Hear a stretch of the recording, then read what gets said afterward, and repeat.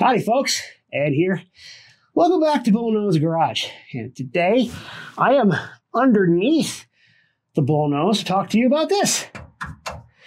This is the Ford 8.8 rear axle. It's what I have in my truck. And if you guys got a Bullnose, it's a pretty good chance it's what you guys got in yours too.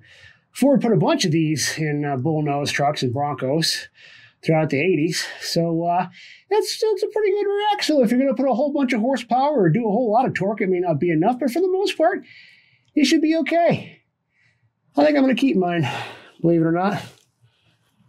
So let's talk about it.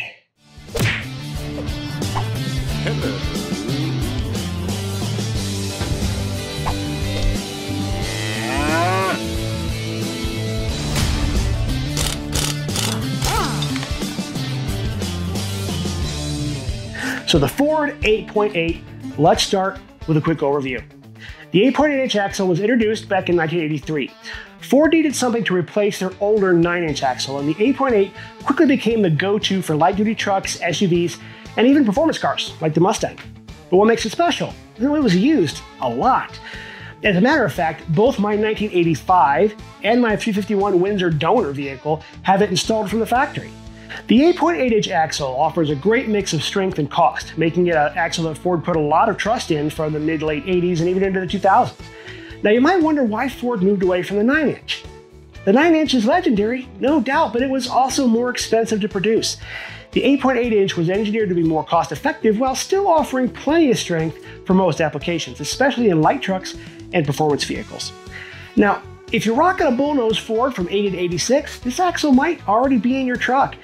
Starting in 83, the 8.8 inch began replacing the 9 inch uh, in some F 150s and Broncos, especially the four wheel drive models and those with bigger engines, but not always because mine's a 300 and it's got an 8.8, so it could be in a lot of stuff.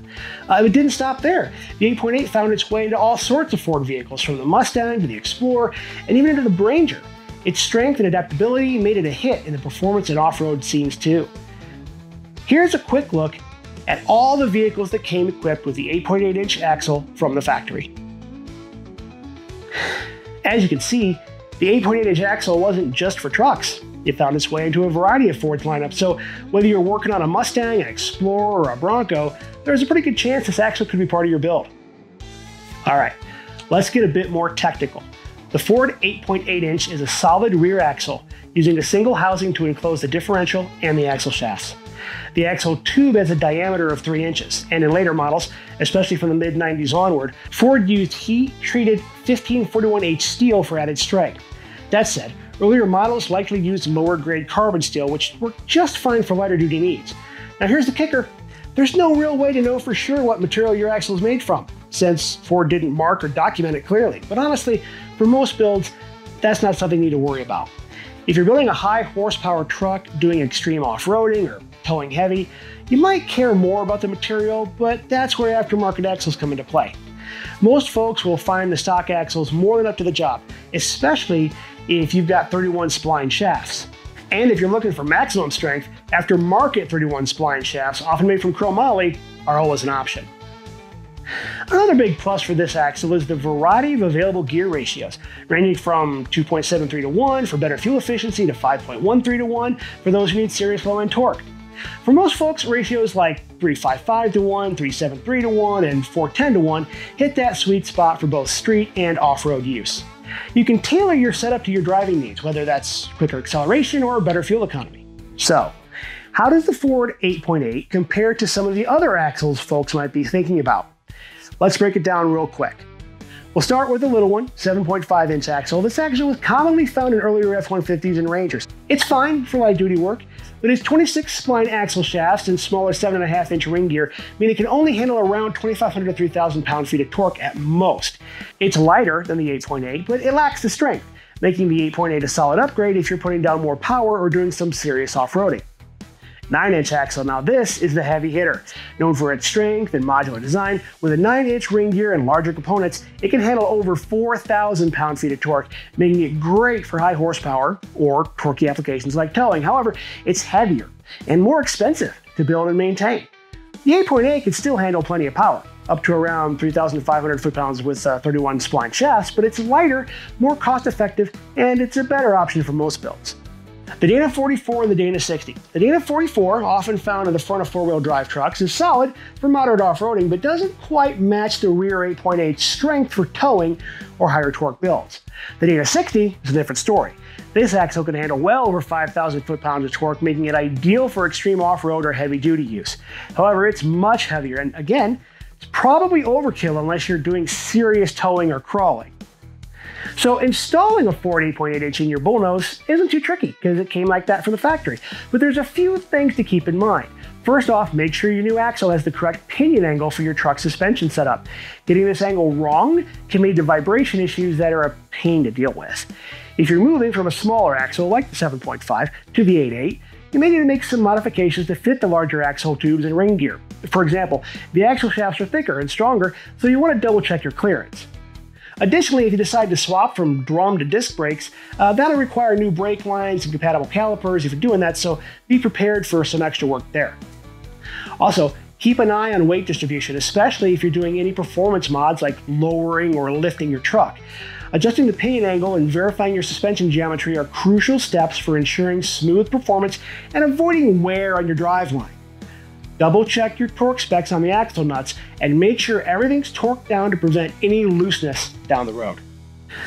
The Ford 8.8 inch axle is a popular candidate for upgrades, especially for those looking to handle more power or do more serious off roading.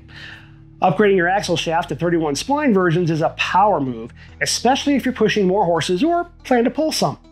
The 31 spline shafts offer a substantial increase in strength over the stock 28 spline versions, providing extra peace of mind when hauling or driving like a maniac, if you're into that. Another modification to consider is reinforcing the axle housing with an axle truss, especially if you're taking your truck off road. The truss adds rigidity to the axle and helps prevent bending or flexing. So, to wrap it all up, the Ford 8.8 inch axle wasn't just a random replacement for the 9 inch, it was part of Ford's effort to create a more cost effective yet durable solution for their lineup of light duty trucks, SUVs, and performance cars. Ford knew the 9-inch was a beast, so they needed something that could handle a wide range of applications without driving up production costs. The 8.8 delivered that balance perfectly, offering a strong, reliable axle that could handle towing, off-roading, and performance builds without breaking the bank. And here's a fun fact, while the 8.8-inch axle started out in trucks and Mustangs, it's now a popular swap option for all kinds of vehicles, including hot rods and even some off-brand 4x4s. That's how versatile and well regarded this axle has become. So, whether you're upgrading or just keeping your bullnose running strong, the 8.8 has proven itself a go-to axle that Ford got right pretty much from the start. As for me, I've already got an 8.8 in my F-150. Now, it's probably the uh, 28 spline version. I haven't actually taken off the, the, uh, uh, the pumpkin housing and checked, but uh, when I do that, I suspect I'm going to find a 28 spline version. Now I'm looking at putting about four to 500 horsepower through that truck eventually. So I may be a candidate for upgrading to a 31 spline, but I don't think I need to go quite as far as the nine inch. All right, guys, well, there you go. Everything that I know or pretend to know about the Ford 8.8 rear axle, just like I've got right here in the back of the donor obviously sent down from God, as you can see the rays coming down on this beautiful roached out chassis. Guys, if you learned something, if uh, you like this kind of content, if I did a good job, give me a like, give me a subscribe. I really appreciate that. If you want to support the channel, head to the merch store, get yourself a cool hat, t-shirt, bumper sticker, that kind of stuff. If you have any questions, comments, concerns, gripes, internet ramblings, stick them below. And as always, thanks again for watching, guys. We will see you next time.